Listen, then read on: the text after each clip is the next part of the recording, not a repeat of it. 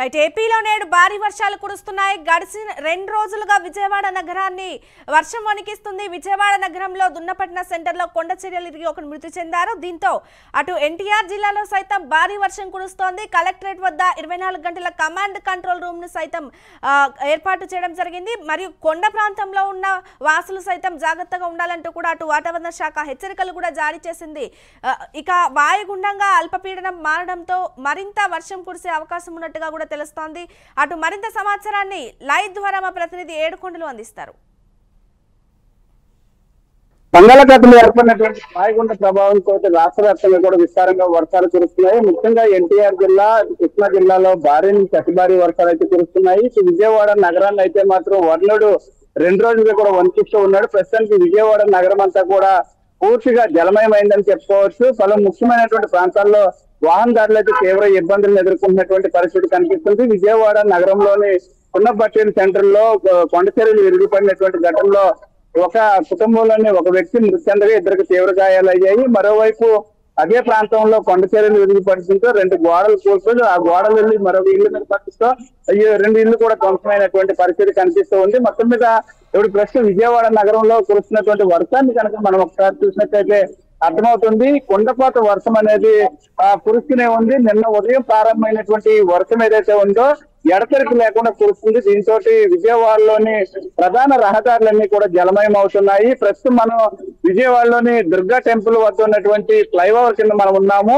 అయితే మనం చూడొచ్చు ఇక్కడ ఏ విధమైనటువంటి వర్షపాతం వర్షం కురుస్తుంది అనేది అయితే విజయవాడ నగరం అంతా కూడా ఆ ఎటు కూడా అంటే రోడ్లన్నీ కూడా జలమయమై ఇప్పుడు ఈ ఫ్లైఓవర్ మీద దిగి ఆ, ఏదైతే బస్ స్టాండ్కి వెళ్ళేటువంటి ప్రధాన రహదారి పూర్తిగా ఇంచుమించు ఎనిమిది అడుగుల లోతు మేర అక్కడ ఫ్లైఓవర్ కింద నీరు అయితే తెలిసిపోయింది దీంతో అటు విజయవాడ బస్ స్టాండ్కి వెళ్ళేటువంటి ఆ రహదారి అంతా కూడా ఇప్పుడు ప్రస్తుతానికి మూసివేసినటువంటి పరిస్థితి కనిపిస్తుంది. అయితే ఆ మరోవైపు విజయవాడలోని వన్ టౌన్ పరిధి పరిసర ప్రాంతాలు చూస్తే పూర్తిగా వర్షం భారీ వర్షం కురుస్తుండటంతో ఇక్కడికి వచ్చేటువంటి దుర్గా టెంపుల్కి వెళ్ళేటువంటి భక్తులంతా కూడా తీవ్ర ఇబ్బందులను ఎదుర్కొన్నటువంటి పరిస్థితి. మనం చూస్తే ఆ ఏదైతే దుర్గా టెంపుల్ ప్రాంతంలో ఏ విధంగా వర్షం కురుస్తుంది అనేది మనం చూడవచ్చు. రోడ్లంతా కూడా ఆ ఏదైతే వరదని తలపించేలాగా రోడ్లంతా కూడా నీరు ఆ ప్రవహిస్తున్నటువంటి పరిస్థితి. ఇదంతా కూడా లోతట్టు ప్రాంతాలకు చేరుతున్న నేపథ్యంలో ప్రస్తుతం మున్సిపల్ అధికారులు కూడా అటు ఆ మున్సిపల్ శాఖ మంత్రి నారాయణ అయితే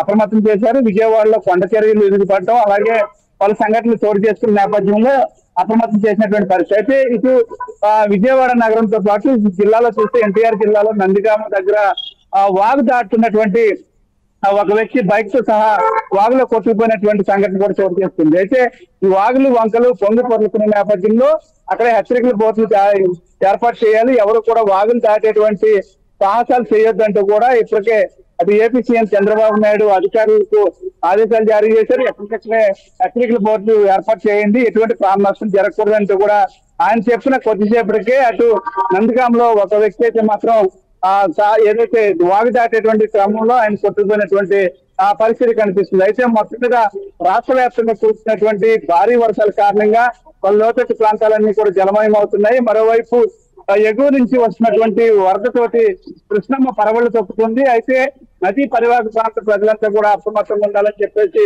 అధికారులు ఆదేశాలు జారీ చేస్తున్నారు. ముఖ్యంగా విజయవాడ కలెక్టరేట్లో కంట్రోల్ రూమ్ కూడా ఏర్పాటు చేశారు కలెక్టర్ సూచన అయితే ప్రస్తుతం చూస్తే మనం అర్థమవుతుంది రెండు రోజులుగా చూస్తున్నటువంటి వర్షాలకు తోడు మరొక రెండు రోజుల పాటు భారీ నుంచి అతి భారీ వర్షాలు కురుస్తాయంటూ కూడా వాతావరణ శాఖ హెచ్చరికల నేపథ్యంలో అధికారులు అయితే అప్రమత్తమైనటువంటి పరిస్థితి కనిపిస్తుంది. మరోవైపు ఇప్పటికే ఏవైతే నారుమళ్ళు వరిన వరినాట్లయితే పూర్తయ్యాయో అన్ని కూడా నీట పొందుతున్నటువంటి పరిస్థితి కృష్ణా జిల్లా పెడన అలాగే ఇటు అవనిగడ్డ మచిలీపట్నం ప్రాంతాల్లో పూర్తిగా నీట ముందున్నటువంటి వరి పొలాలతో రైతులు అయితే తీవ్ర ఆ భయాందోళన గురవుతున్నటువంటి పరిస్థితి. ఇదే పరిస్థితి రెండు మూడు రోజులు అయితే ఆ వరి నాట్లన్నీ కూడా పాడైపోయేటువంటి పరిస్థితి ఉంది కాబట్టి ఇప్పుడు అటు మంత్రి అచ్చెన్నాయుడు కూడా అటు వ్యవసాయ శాఖ అధికారులను అప్రమత్తం చేస్తూ ఉన్నారు.